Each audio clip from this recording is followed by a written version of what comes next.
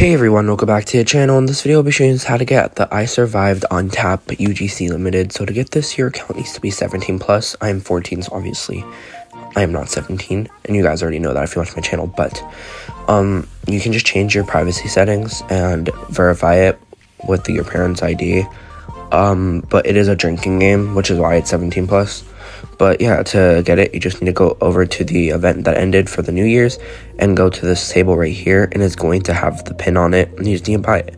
It's that simple. So go over here, press purchase, and if you're in the game after the event, so just make a VIP server, by the way, you'll be able to get it, and the VIP servers are free.